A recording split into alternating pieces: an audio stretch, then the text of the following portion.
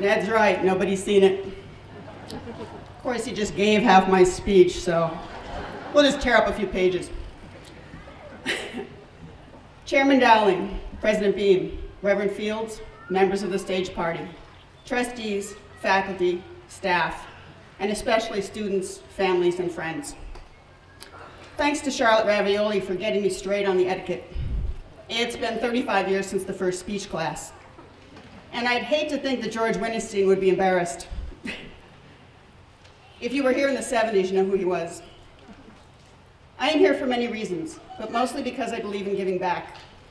In this case specifically, for the support and encouragement from the people and the institu institution we all know as Keystone College at a time in my life that mattered the most. I am grateful. When you get the chance to do the same, wherever you may go, grab it and give back. I came here as a first generation student, putting myself through college, a young widow with a sad face and a pathetic demeanor and no direction. But Keystone shored me up, dried my tears while spinning pots in Bill's class, letting me clean out the cement mixer in Cliff's class. It was my therapy. Carl's drawing classes let me combine my math logic and my art in perspective drawing, all of which put me on a path to self-confidence. You and your families have been through your own situations, making personal sacrifices, both financial and emotional, but have come to this day through the encouragement of others, your own hard work and determination. And you should be proud and yes, grateful. Okay, enough of that. Now let's talk about doors. I know a lot about doors. Interior doors are an inch and three eighths thick. Exterior doors are an inch and three quarter inch thick. Most doors are 80 inches high. Standard doors are 18 inches, 21, 24 inches wide, and on and on and on. I know a lot about doors.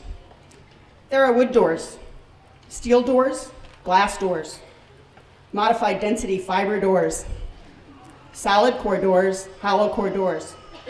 There are garage doors, doggy doors, cabinet doors, shower doors, open doors, and closed doors. The last two are the ones you really want to pay attention to. I did grow up at Lake Winola from age nine with five siblings. Having moved from Tunkhannock to attend the fourth grade, my school was a place called Falls Overfield in Mill City until the 11th grade. And then I got to go home again to graduate from Tunkhannock High School in my senior year.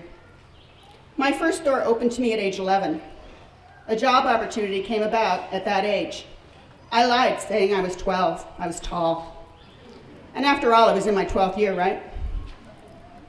I was hired for $2 per day to clean a 10-room cottage at the lake and babysit their grandchildren for an additional dollar per day after cleaning. I was rolling in it by September. My second door opened the next summer. I made a deal with my older brother to take over his paper route. He did not want it. At that time, the company would not give girls a paper route. You know, we can't carry heavy papers because we're girls, right? Well, the deal was that he could keep the paper company money and I get the tips. So he only had to help me on Sunday mornings, when yes, the papers were heavy. The next door opened for me at age 13. I got a visit from the owner of Topper's Diner in Clarks Summit. Many of you may remember it. To find out if I was ready to be a bus girl. My mother had worked there before, and they knew she had a daughter who was probably old enough to do that. State labor law says you have to be 14, so I lied. I was tall. And technically, I was in my 14th year, right? Two years later, I was promoted to waitress by the time I was a senior in high school, I had saved enough money to attend all the senior events and activities, buy my new school clothes, and pay for it myself. I married my high school sweetheart at age 18 after saving our money for 18 months to pay for an apartment full of new furniture, two relatively new cars, and all wedding expenses paid for in advance. I was driven. This was my first closed door. He had a car accident 18 months later and died. As an academic major student in high school, I had taken my SATs with my junior class with no expectations to apply to college and without encouragement to do so from anyone. Did I say we were poor? So because my classmates took the exams, I took them. I scored high enough to enter various colleges, but did not apply. After all, I was getting married soon. Once my prescribed married life was derailed by my husband's sudden death, I applied to Keystone College. Thanks, Mom. And that was the fourth door that opened for me. The college interviewed me in the art department for my requested fine arts major. With a portfolio derived from what was at that time known as the home economics department in high school. Art was what we did in Girl Scouts and learned to cook and sew in the classroom. Carl Neurath, whom some of you know well, interviewed me and accepted me on a provisional basis. And in my first semester, I achieved a 3.97 GPA, which was the disappointing result of a half-credit billiards course I was required to take.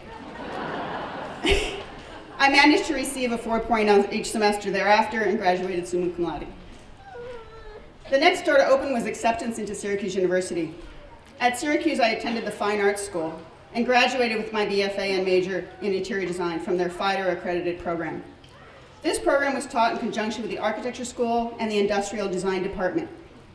Between my art background at Keystone and my program at Syracuse, I was taught to draw 2D and think, think in 3D. It has made all the difference in the way I think and design and the way my contemporaries think and design. The next summer, the sixth door opened for me. I applied to work for a nationally recognized architectural firm in Clarks Summit and excelled there. I loved it. I was sent on projects all over the country in that four months' time, and before I left to return for my final semester, I was offered full-time employment with the firm. Now remember that I was putting myself through college. And in my program at Syracuse as a transfer student, I needed to take a fifth semester to get their last required class to graduate. My new firm did not want me to leave after the summer and asked me to stay. But I had to get my name on that diploma. You know how that goes, right? The head of the firm asked me how I was going to pay for my expenses, knowing that my grants, scholarships, and loans had run out and I would not qualify for help. I told him I was going to get a job and take one class. He handed me a check for $5,000 and told me to take as many classes as I wanted and not to get a job. The terms were that I could pay him back whenever I could, no interest, and to show up for work on January 2nd to report for my full-time position. I paid him back in two years with a single check. I returned to work that January 2nd, and within four months they asked me to relocate to Manhattan to work on a Revlon project on Fifth Avenue. Ah, this was my next door. They had someone deliver me to a corporate apartment on 46th Street and handed me a key, and gave me a map on a napkin, indicating where to report for work the next morning on Park Avenue. I was 25. I had been to New York only twice before in my life, and I knew no one. I was within walking distance to the office, so walked to work the next day. But on the way, as luck would have it, a pigeon shit on my head. so when I arrived, it was not my best presentation. I washed my hair in the ladies' room, and I settled into their office for the next four years. I was assigned the role to oversee the renovation and space planning of 10 floors in the General Motors building on Fifth Avenue for Revlon. In due course, I was also assigned the role of interior design project manager for a new building in Edison, New Jersey, again for Revlon. The task was to relocate 1,200 people from their Manhattan address to New Jersey into a new 250,000 square foot building with a master plan for an additional 200,000 square foot building attached later for the research and development department. I had a blast. While handling that project, I was also working on projects for IBM in North Carolina and in Palo Alto, California, and ITT in Shelton, Connecticut, and some various others. This was a four-year endeavor before I had been approached personally to do some office space planning for companies in Manhattan. This was my next door, number eight. The first time it happened, I turned the job over to the firm I worked for. The second time it happened, I bought a drafting table and a fax machine, and I put it in my dining room, and I started my own business. I was encouraged to do so by a New York entrepreneur whom I married 10 years later, which was my next open door. My career blossomed for the next 10 years before another closed door hit me in the face. My husband was diagnosed with cancer and died within the year. I threw myself into my business and it grew until the current economic crisis hit our country and the world. All the small business owners have been juggling to stay afloat in this economy, and we have had to be prudent, creative, and aggressive in keeping our businesses thriving until the world gets on solid ground.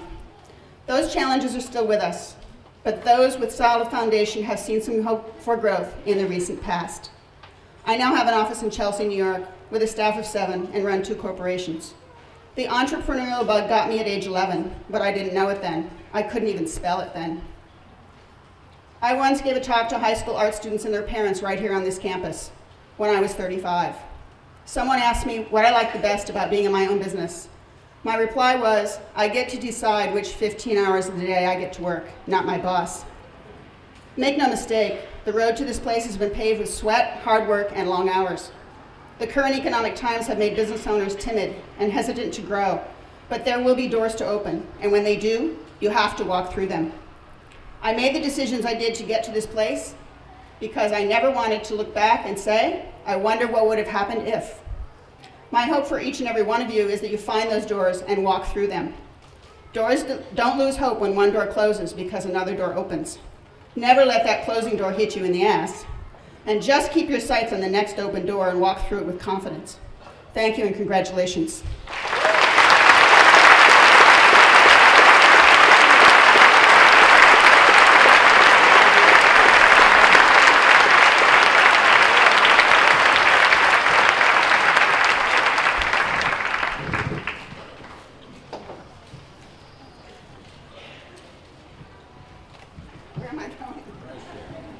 What we'd like is you were nominated for, our chair, Harry Dowling, and the Board of Trustees confirmed that you now have an honorary doctorate degree from Keystone College.